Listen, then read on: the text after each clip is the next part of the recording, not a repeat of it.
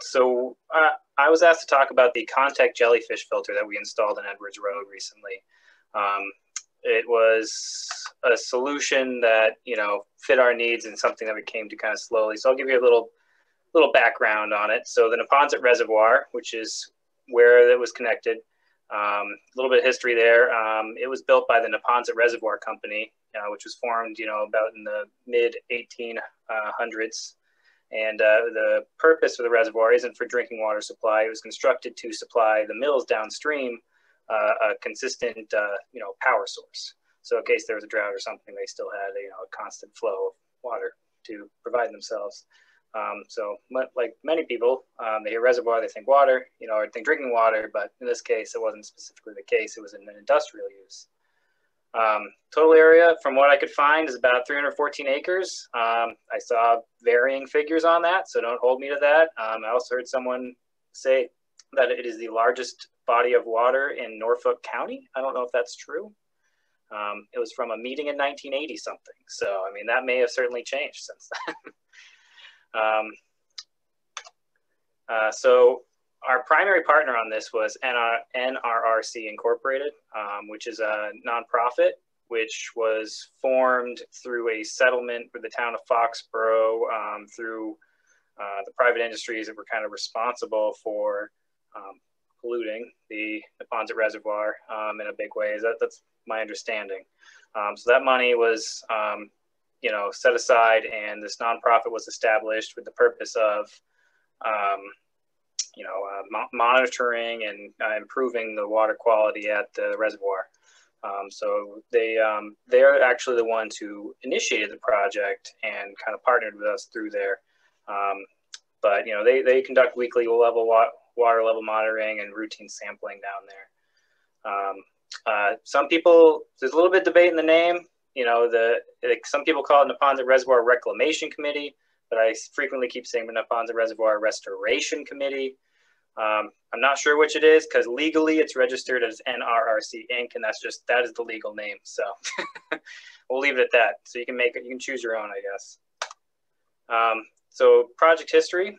So Edward, Edwards Road, where this was installed, the boat ramp there, um, I guess my understanding is that uh, for a long time it was kind of just this informal sort of little place where people could launch their, you know, kayaks and canoes. Um, and the NRC wanted to uh, improve it. Uh, so in the picture on the right here, you can kind of see the improved um, look of the uh, the boat launch area now. Um, the problem being just to the right side of this boat ramp um, is, uh, you know, what uh, Neponset Reservoir Restoration Committee found to be, you know, the most, uh, you know, the worst discharge point in terms of nutrient loading on the reservoir. So in coordination, you know, in connection to this project, they wanted to also find a way to improve the water quality coming out of that discharge point. Um, so they, with the help of ESS Group and other design engineer firms, they started looking into various solutions on how to address that. Um, you know, one of the things they considered was construction of a gravel wetland, um, uh, but due to the limited land area um, they had available, um, it wasn't really going to provide the treatment that they were looking for, uh, which you can see from the table here. Um, you know, it's uh, this was done by ESS. Um, they're kind of comparing the two options here. So you have, you know, impervious area treated by the jellyfish filter, 2.87 acres. You know, meanwhile, the gravel wetland is 0.2 acres, you know, impervious area treated by their comparison. Um, and uh, clearing required for the jellyfish filter is none. We installed in the street, whereas they would have to clear about 0.15 acres just to achieve that minimal treatment. Um, so ev eventually they, you know, the problem was, you know, it was a it was a hesitant decision to go with the jellyfish filter only because it was significant cost kind of associated with that. You know, my understanding is that the uh, you know the delivered price of the jellyfish fish filter was somewhere around one hundred and twenty thousand um, dollars. So it's not a cheap option. You know, so if you can, you know, if they could do the wetland gravel wetland, it was technically a more you know at least initially cheaper financial option from what they were seeing, but ultimately, because of the size limitations um, and the treatment, you know, limited treatment offered, they, they went with the jellyfish filter. Um, so I'm gonna, rather than try to explain to you exactly how it works, I found this nice video. Um, I'm gonna hit play on this. Let me know if you guys can hear the audio, because uh, I don't know if this always works. So I'm gonna hit play. Can you hear it?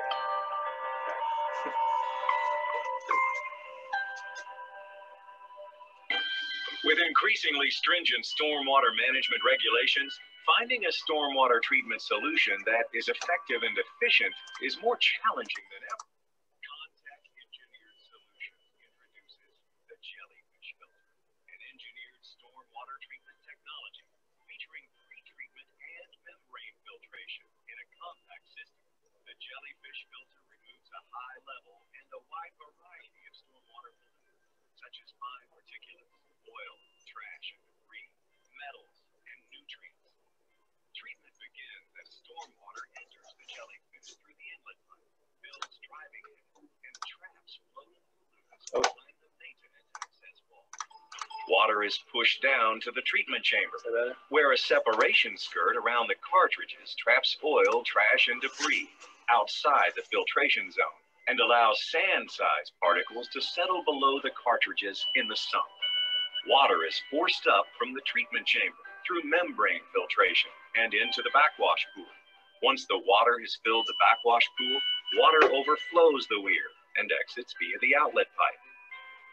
The high performance membrane filtration provided by the jellyfish filter's pleated tentacles ensures long lasting treatment and provides a large surface area to effectively remove fine sand and silt sized particles and a high percentage of particulate bound pollutants, such as nitrogen, phosphorus, metals, and hydrocarbons. As each storm subsides, the treated water caught in the backwash pool flows back into the treatment chamber through the membrane cartridges. This passive backwash extends cartridge life and keeps them clear for future events. The drain down cartridge located outside the backwash pool enables water levels to balance the jellyfish filter can be used in a number of applications, including commercial and residential development, infill and redevelopment, and stormwater quality retrofit projects, highways, airports, seaports, and military installations, pre-treatment for low-impact development, infiltration and rainwater harvesting, and reuse systems. The jellyfish filter is available in standard manhole, catch basin, and vault configurations as well as custom engineered configurations. Maintenance of the jellyfish filter is performed by removing, rinsing, and reusing the cartridge tentacles. Vacuum extraction of captured pollutants in the sump is recommended at the same time. Full cartridge replacement intervals differ by site due to varying pollutant loading and type. Typically, replacement is anticipated every two to five years. Third party field testing for the jellyfish filter has been conducted following the TARP Tier 2 protocol. The jellyfish filter has achieved numerous agency approvals, including New Jersey Department of Environmental Protection final certification and Washington State Department of Ecology conditional use level designation. Please visit www.conteches.com slash jellyfish for more information on jellyfish, including technical information and a collection of case studies. The Jellyfish Filter, an innovative solution to stormwater treatment. There you go. I promise I'm not working for them or trying to sell it to you, but I felt that was the uh, most efficient way to sort of give you that nice graphic to see how the water actually flows through the system, you know, to the bottom, then up, out, and uh, back out. So because it's a bit, you know, when you're looking at it in the field, it does get a little confusing when you see this thing being constructed.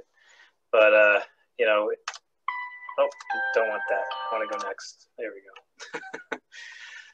um, so on to the construction, I put some images together of you know what we did here. Um, on the left, you see an image of the vault area and uh, you know the you know where we constructed originally was proposed, you can kind of see the circular area of the old design.